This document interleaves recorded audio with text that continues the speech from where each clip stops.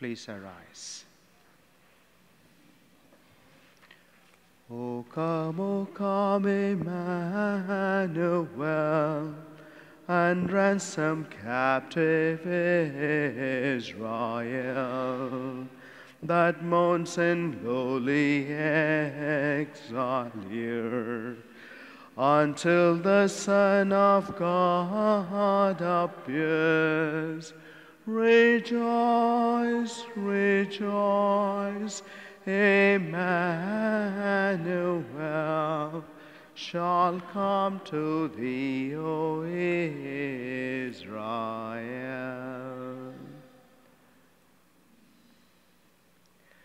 Let us begin this celebration in the name of the Father, and of the Son, and of the Holy Spirit. The grace of our Lord Jesus Christ, and the love of God, and the communion of the Holy Spirit be with you all. Good morning. This Mass is offered for the repose of soul of Charles Granay. Brothers and sisters, as we come around the altar of the Lord to celebrate the sacred mysteries, let's call to mind our sins.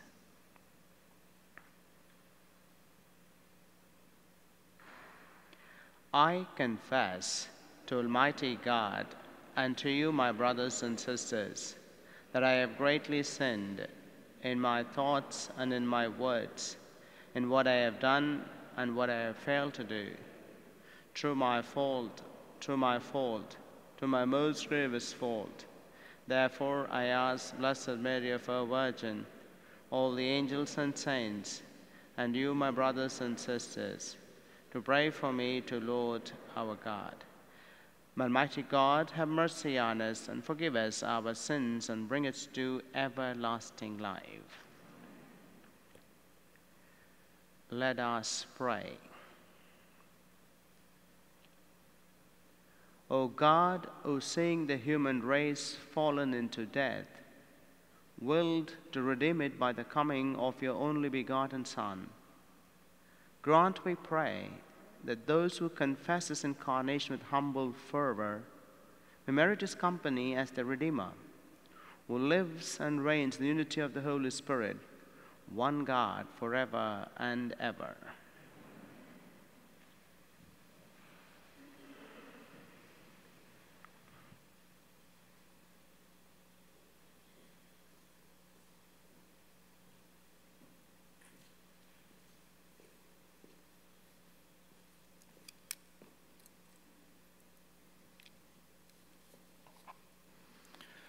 A reading from the first book of Samuel. In those days, Hannah brought Samuel with her, along with a three year old bull, an ephah of flour, and a skin of wine, and presented him at the temple of the Lord in Shiloh. After the boy's father had sacrificed the young bull, Hannah, his mother, approached Eli and said, Pardon, my Lord. As you live, my Lord, I am the woman who stood near you here praying to the Lord. I prayed for this child, and the Lord granted my request. Now I, in turn, give him to the Lord. As long as he lives, he shall be dedicated to the Lord. She left Samuel there. The word of the Lord.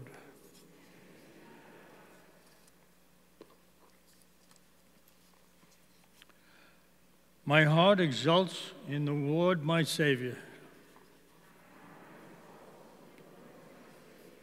My heart exults in the Lord, my horn is exalted in my God. I have swallowed up my enemies, I rejoice in my victory.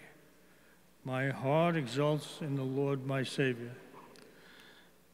The bows of the mighty are broken, while the tottering gird on straight. The well fed hire themselves out for bread, while the hungry batten on, spo- on spoil. The barren wife bears seven sons, while the mother of many languishes. My heart exalts in the of the Lord. The Lord puts to death and gives life. He casts down to the netherworld, he raises up again. The Lord makes poor and makes rich. He humbles, he also exalts.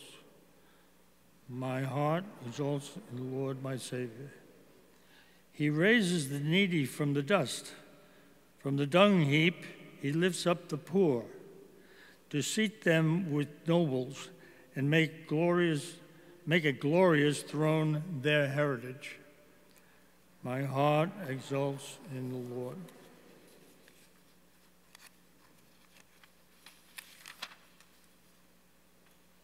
Alleluia, Alleluia, Alleluia, Alleluia, Alleluia, Alleluia. O King of all nations and keystone of the church, Come and save man whom you formed from the dust. Alleluia. Alleluia. Alleluia. The Lord be with you. A reading from the Holy Gospel according to Luke.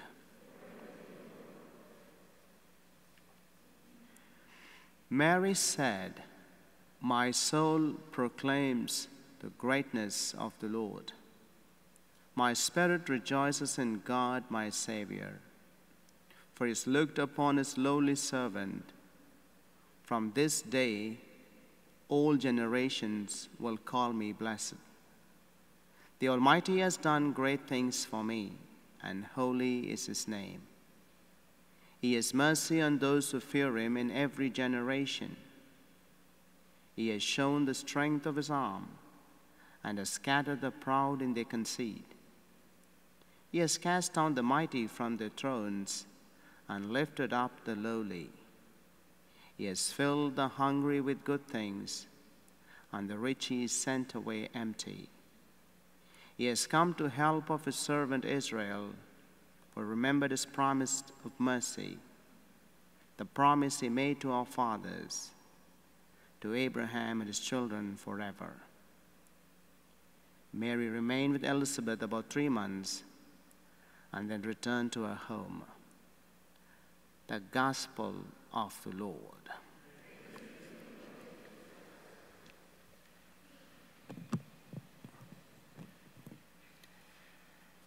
This is the prayer called Magnificat, said every evening while praying the Vespers in the church. All around the world, this prayer is said during the evening prayer. My soul proclaims the greatness of the Lord. My spirit rejoices in God, my Savior. Such a beautiful hymn. This hymn, when we say in a meaningful way, it addresses many areas of our life. First and foremost, reminds us how grateful I am to God. How grateful I am to God for all the goodness He has done in my life. For Mary, a humble woman, a meek woman, compared to the first reading, the Song of Hannah, God lifts up somebody lonely. The question we need to ask ourselves what are the areas I need to be lifted up, where I need to be driven up to God so that I see the power of God at the same time see my own powerlessness. Today, the big difficulty the human world faces is I can do this, I can do that, I am all powerful. Man puts himself time and again in the center of achievement, and we can do great things. There are plenty of books about motivation, plenty of books about self discipline, and plenty of books about medicine. We know right at this moment, in this, we are all facing this pandemic. All over the world, billions of people affected by this. But we have no answer, clear cut answer. You can take this, there's a cure for this, and you'll be out of this pandemic. But the human mind says we are all powerful. We can do this. But the divine mind says, look up and see how great the Lord in our lives. I'm pretty sure you all watched that Jupiter and Saturn coming together. Such an event happened 800 years ago. In 1226, they say this type of events only happens once in several years. To look at those stars, the planets, Saturn and Jupiter, coming in together, facing each other, we can ask, there's something great beyond this creation of God, a great mind of God. He's all powerful. Whenever our mind thinks, I have a solution for a problem, the great solution we can have is that God is in absolute control. As we are closer to Christmas, may our heart proclaim the greatness of Lord in our lives. And at the same time, along with Mary, pray and to acknowledge our weakness, our humbleness, our helplessness. With God, everything is possible. My soul proclaims the greatness of the Lord. My spirit rejoices in God, my Savior.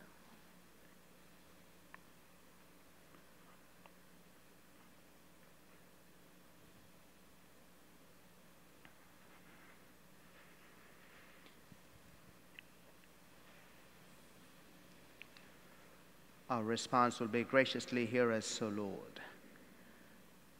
That the church may grow stronger as a result of a member's determination to live more fully in conformance with the teaching of Jesus. Let's pray to the Lord. Graciously hear us, O Lord. That those suffering from disease may be happy and know the joy of this holiday season. In spite of the illness, let us pray to the Lord. Graciously hear us, O Lord That the parish members may be God's love personified. As we strive to bring goodwill to others, let us pray to the Lord. For peace in the world, for the unemployed and underemployed, for our troops, for an end to abortion and euthanasia, and for the ill of our parish, especially those on the prayer list, let's pray to the Lord.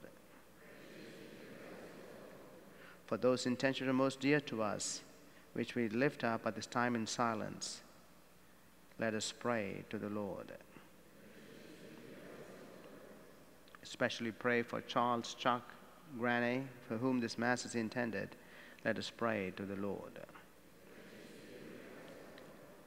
Let's pray for Carolyn Deering, Jerry Turin, Dolores Mann, Maria Benincasa, Lisa Morrissey, Matthew Cummings, George Dublino, Dominic Colantonio, Gerard Hain, Susan Greg Diane Peter Han, Michael Blake, Edward Schaff, Adriana, Amanda Harrismuck, Anne Oleski, Jay Dinnan, Robert Farina. Let us pray to the Lord. Father in heaven, hear the prayers of your loving children. Grant that all that is cons- consistent with your will. We make this prayer through Christ our Lord.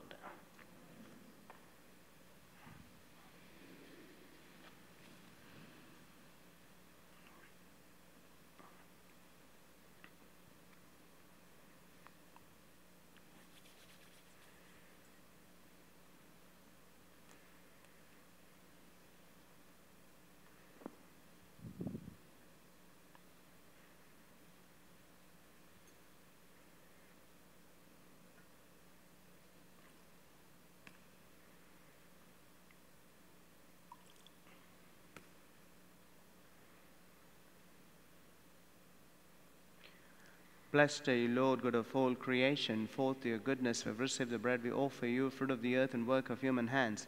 It will become for us the bread of life.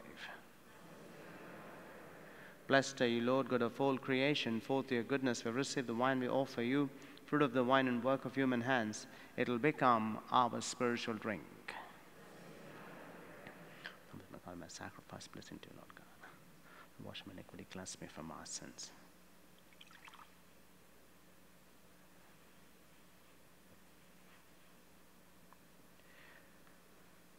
Pray, brothers and sisters, that my sacrifice and yours may be acceptable to God, the Almighty Father.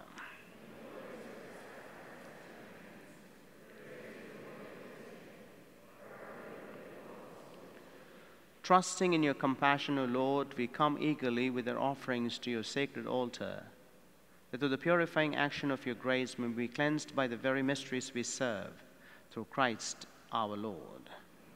The Lord be with you. Lift up your hearts. Let us give thanks to the Lord our God.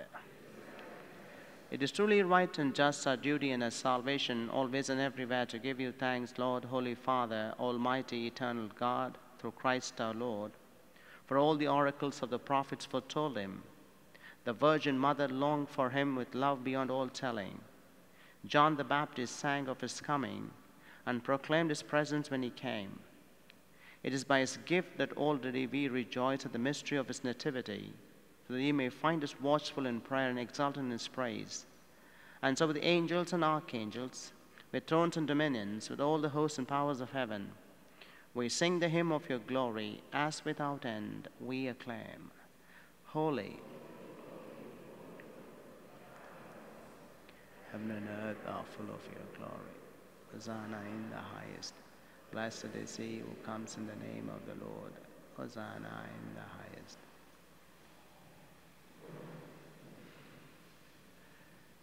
You are indeed holy, O Lord, the fount of all holiness. Make holy, therefore, these gifts, we pray, by sending down your Spirit upon them like the dew fall, so that they may become for us the body and blood of our Lord Jesus Christ. At the time he was betrayed and entered will into passion, he took bread, giving thanks, broke it, and gave it to disciples, saying, Take this, all of you, and eat of it, for this is my body, which will be given up for you.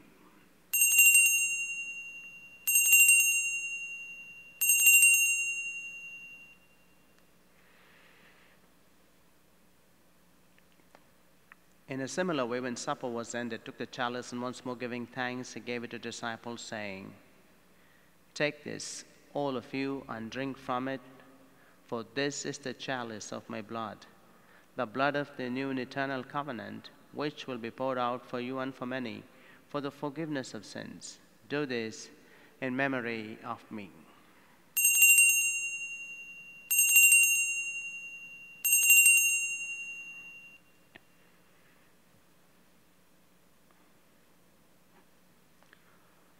The mystery of faith. When we eat this bread and drink this cup, we proclaim your death, O Lord, until you come again. Therefore, as we celebrate the memory of his death and resurrection, we offer you, Lord, the bread of life and the chalice of salvation, giving thanks that have held us worthy to be in your presence and minister to you. Humbly we pray that partaking of the body and blood of Christ we may be gathered into one by the Holy Spirit. Remember, Lord, your church spread throughout the world, bring it to the fullness of charity, together with Francis, our Pope, Frank, our Bishop, and all the clergy. Remember your servant Charles, whom you called from this world to yourself. Grant that he was united in son and death like his, may also be one with him in his resurrection. Remember also, brothers and sisters who have fallen asleep in the hope of the resurrection, all who died in your mercy. Welcome them the light of your face. Have mercy on us all, we pray, the Blessed Virgin Mary, Mother of God, the blessed apostles, St. Francis, St. Clare, St. Anthony, St. John the Evangelist, John of the Cross, Teresa of Avila, and all the saints who are placed throughout the ages, merit to be co-heirs to eternal life, and may praise and glorify you to your Son, Jesus Christ. Through him and with him and in him. O God Almighty, Father, in the unity of the Holy Spirit, all glory and honor is yours forever and ever. Amen.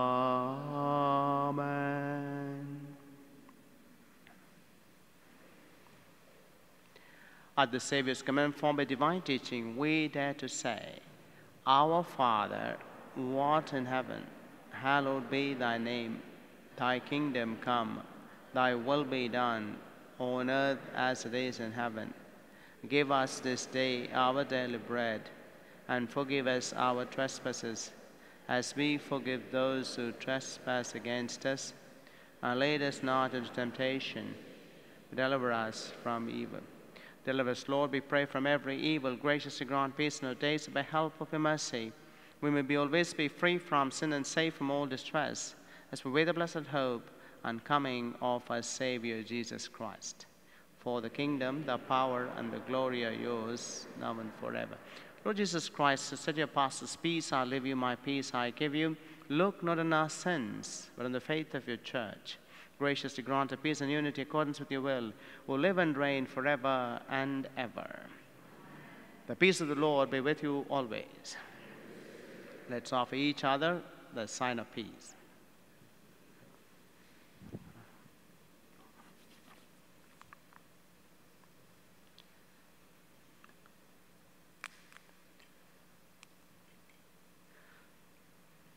Lamb of God, take away the sins of the world.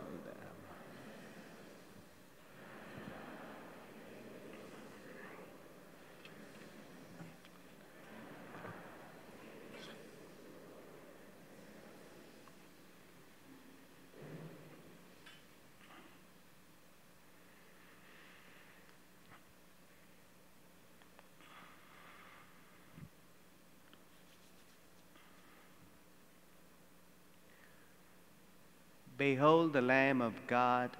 Behold him who takes away the sins of the world. Blessed are those called to the supper of the Lamb. Lord, I am not worthy they should enter under my roof, but only say the word, my soul shall be healed. The body and blood of Christ keep me safe for eternal life.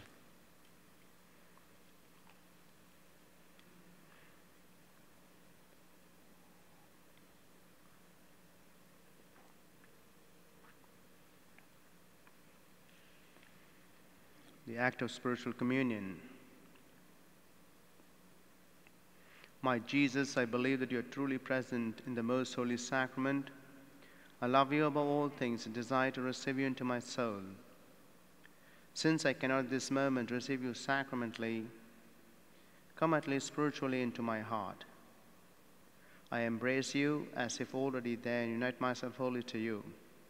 Never permit to be separated from you.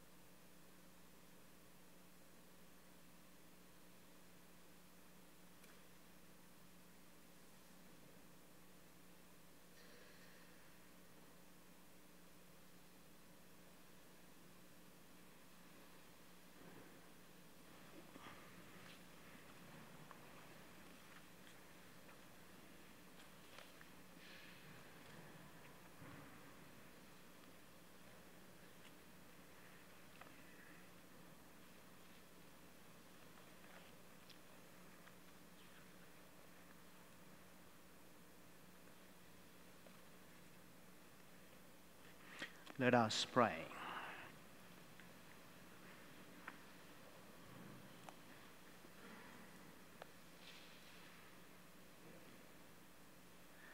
May the reception of your sacrament strengthen us, O Lord, so we may go out to meet our Savior with worthy deeds when he comes and merit the rewards of the blessed through Christ our Lord.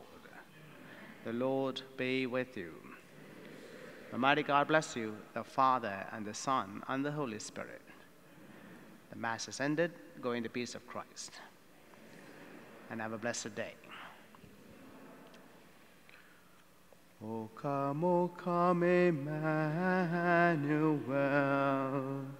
and ransom captive Israel that mourns in lowly exile here, until the Son of God appear. Rejoice, rejoice, Emmanuel shall come to thee, O Israel.